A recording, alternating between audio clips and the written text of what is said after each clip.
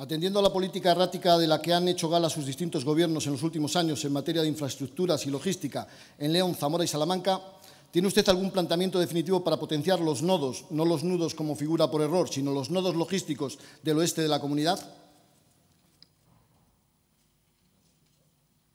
Gracias. Para contestar, el presidente de la Junta tiene la palabra. Muchas gracias, eh, señora presidenta.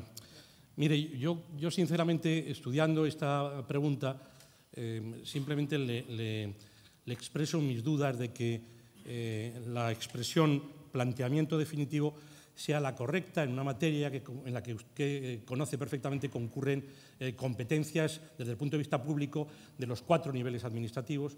Hablamos de lo local, que tiene mucho que decir, por supuesto de lo autonómico, de lo, nacional y también de lo regional, y donde, hombre, no son ajenas tampoco las iniciativas de eh, decisiones de empresas y operadores privados.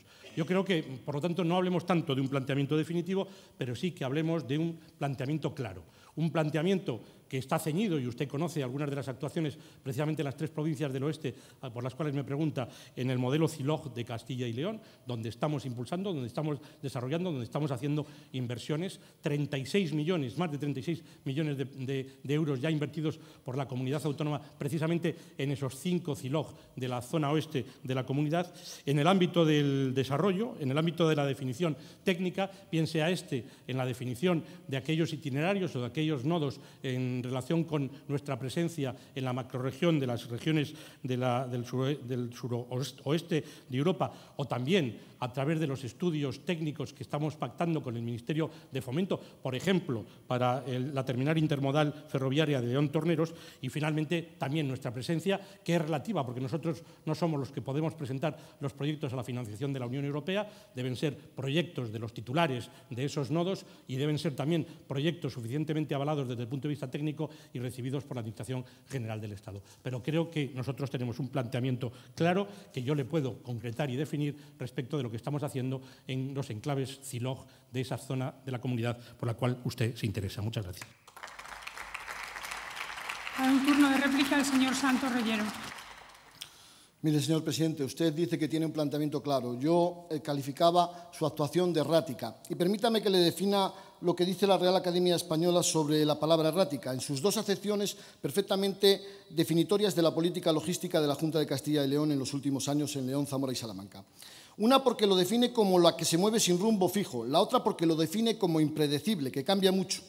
Es evidente que, comenzando por esta última definición, su política es errática porque, además de ser impredecible, lo que más la caracteriza sobre todo es que cambia mucho. Cambia tanto que lo que para usted era irrenunciable en el año 2014, aquello que usted definió como la rosa de los vientos en plena campaña electoral, refiriéndose a Benavente y su papel en el corredor atlántico, ¿lo recuerda?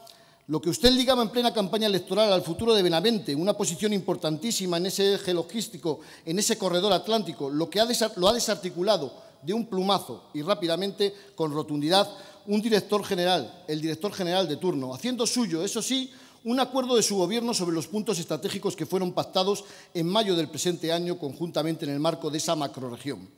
¿Recuerda cuando usted prometía a días de las elecciones 30.000 millones del programa Conecta Europa para impulsar la Rosa de los Vientos Benaventana?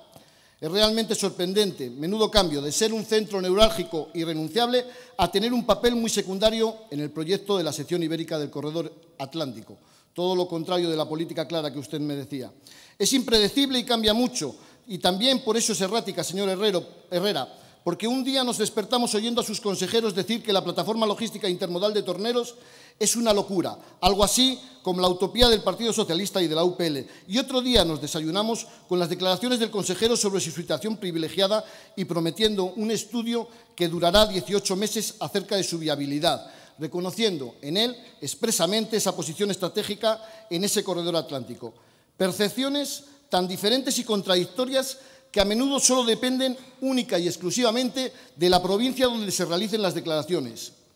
Es errática, señor Herrera, y se mueve sin rumbo fijo, porque a pesar de haber aprobado una PNL de UPL hace ya unos meses en esta Cámara para la ampliación del cetile de Chozas, a día de hoy nada hemos vuelto a saber. O es errática, porque van al Bierzo y lanzan a los medios de comunicación lo importante que es Ponferrada para el nodo logístico, poniendo en valor la situación geográfica de Ponferrada, en virtud siempre de su proximidad con Asturias y Galicia.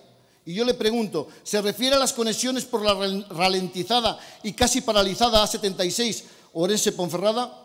¿O se refiere, por contra, a la tan demandada autovía Ponferrada-Asturias fuera del Plan Estatal 2024 de Infraestructuras? En fin, presidente, la otra definición de errática, la que se refiere a la que se mueve sin rumbo fijo, también está contestada en mi intervención, señoría. Se mueven, como ya les he dicho anteriormente, a impulso de donde realizan las declaraciones, si en Ponferrada, si en León, si en Benavente o si en Valladolid. De poco serviría que yo le pidiera hoy que nos adelantara ese plan logístico que usted tiene tan claro para Benavente, para Torneros, para Ponferrada, o que le pidiera sensibilidad con poner en servicio el enlace León-Braganza, que también les exige el propio Consejo Económico Social. Para finalizar, señor Herrera, ¿sabe dónde no cambia su política? ¿Sabe dónde tiene usted un rumbo fijo? ¿Sabe dónde no varía su intención? ¿Sabe dónde comienzan a ser predecibles? En apostar por cualquier alternativa logística que impida el desarrollo del oeste de esta comunidad. Ahí, señorías, ahí ustedes no yerran. Ahí, por desgracia, suelen acertar, como indican, sin duda, los últimos datos socioeconómicos de la región leonesa. Muchas gracias. Gracias. Para un turno de dúplica, el presidente de la Junta tiene la palabra. Gracias, presidenta. Pues voy a ver si puedo darle algunos datos cinco enclaves, logísticos del oeste de Castilla y León. Cinco enclaves que yo creo que su señoría conoce. La plataforma logística intermodal Torneros Grulleros, en Onzonilla y Vega de los Infanzones. Es una iniciativa de SEPES, pública, oficial, del Estado, pero que cuenta con el apoyo de la Junta, que la ha incluido en todos los documentos de planificación nacionales y europeos.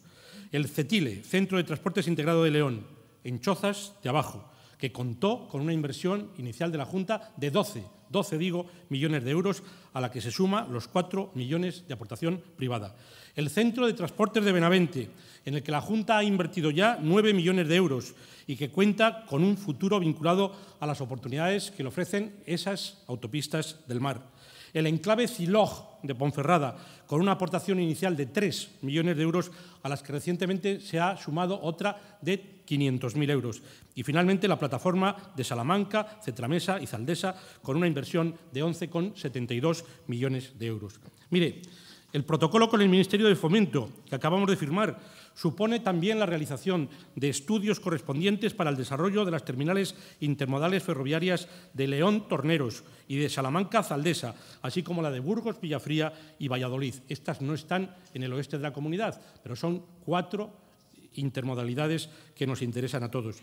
Junto a los datos que yo le facilitaba anteriormente, también hemos llegado a impulsos de colaboración con autoridades portuarias y hoy Castilla y León tiene ya convenios con 12 puertos de España y de Portugal y con grandes operadores logísticos, en concreto convenios con 11 operadores logísticos de primer nivel. Hemos, como le he indicado anteriormente, definido las infraestructuras y servicios logísticos de interés para el conjunto de la macroregión RESOE y cada uno de los territorios que la integran y hemos incluido el modelo SILOG de Castilla y León en la planificación de los distintos instrumentos nacionales, suprarregionales y europeos. Y finalmente, íntimamente asociado con ello, también otra, otra política que en buena medida depende de esta comunidad y de este Gobierno, que es la dotación de suelo industrial a las tres provincias a las cuales usted se refería en su pregunta, León, Zamora y Salamanca hemos, hemos desarrollado, la Junta, este Gobierno regional, 5,5 millones de metros cuadrados desarrollados de superficie neta, que son 9,8 millones de euros de superficie bruta, en 12 instalaciones, con una inversión total de 93,5 millones de euros. Se han vendido ya de todos esos 5,5 millones, 3 millones de metros cuadrados. Solo, solo en la provincia de León, y usted lo debería conocer, hemos desarrollado 2.800.000 metros cuadrados de superficie industrial neta ligada a todos los desarrollos de los nodos logísticos. 4,7 millones de superficie bruta. En cuatro instalaciones, Cistierna, Cubillos del Chil, Parque Tecnológico de León y Villadangos, con una inversión de 68 millones de euros. Yo sé que esto no le parece, no, Presidente, tiene que terminar. en definitiva, lo desprecia y se han vendido ya 1.250.000 metros cuadrados y lo que es más importante en este caso, hay en trámite otras 12 solicitudes sobre 46 parcelas con una superficie adicional de 240.000 metros cuadrados. Yo sé que eso para usted no es suficiente, tampoco lo es para nosotros, pero son los datos que frente a la negatividad absoluta de su señoría yo he querido expresarle esta tarde. Muchas gracias.